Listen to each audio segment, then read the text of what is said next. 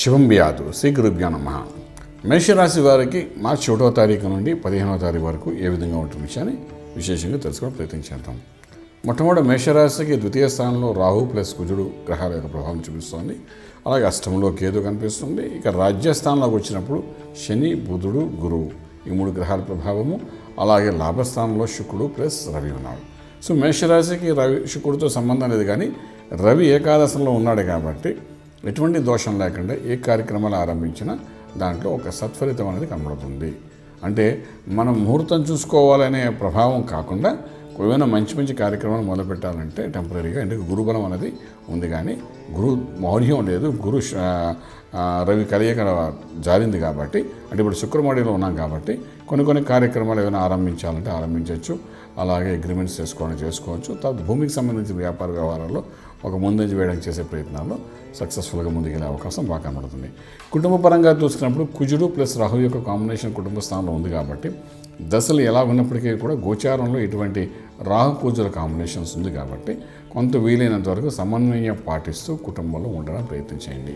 కుజుడు అక్కడ ఉండేది నలభై ఐదు రోజులు ఉంటాడు ఆల్రెడీ.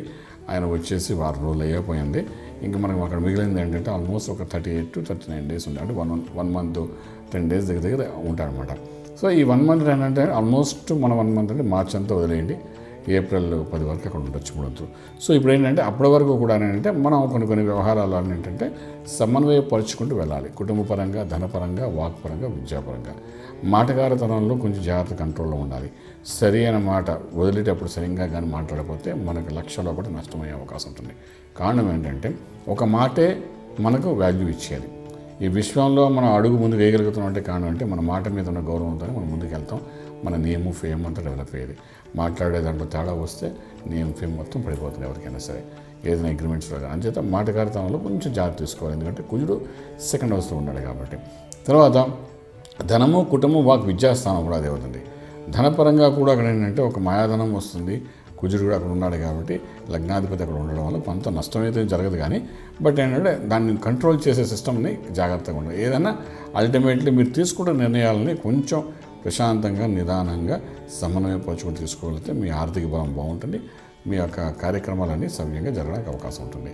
చదువుకునే విద్యార్థులకు ముందుకు వెళ్ళి చేసే ప్రయత్నంలో ఎంఎస్ చేయాలనుకున్నా కెనడా వెళ్ళాలనుకున్నా ఆస్ట్రేలియా వాళ్ళకి వీసాలు ఇవన్నీ ఏర్పాట్లు జరిగే అవకాశం కనబడుతున్నాయి. చక్కగా ఈ పదిహేను రోజుల మంచి శుభార్త వినే అవకాశం ఉంటుంది. చదువు కోసం చేసే ప్రయత్నాలు సక్సెస్ఫుల్ అవుతారు. అలాగే real estate construction steel organic agriculture వ్యాపారాలు చేసేవాళ్ళు ఫుడ్ ఇండస్ట్రీ ఫార్మా ఇండస్ట్రీ సంబంధించిన వ్యాపారం చేశారు ఒక అడుగు ప్రాసెస్గా ప్రోగ్రెసివ్గా కనబడే అవకాశం ఉంటుంది. కదా భయపడక్కలేదు ఇక్కడ ముఖ్యంగా వీళ్ళు చేసుకోవాల్సిన అంటే వివాహ ప్రయత్నాలు కూడా చేసే దాంట్లో మాత్రం కొంచెం నిదానం ఉండడం ప్రయత్నించండి. వీరు చేయవలసిన ముఖ్యమైన విషయం ఏంటంటే ఇక్కడ దక్షిణామూర్తి యొక్క మంత్రాన్ని సాధన చేసుకుంటూ వెళ్ళండి.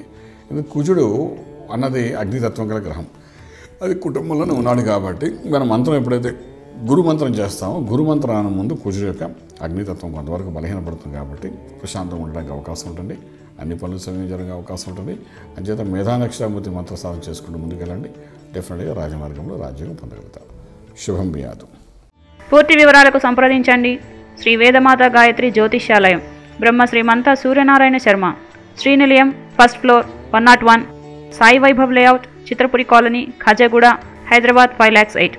సంప్రదించవలసిన phone numbers triple eight triple five nine one four seven triple eight triple five nine one four eight nine eight four triple nine six triple four.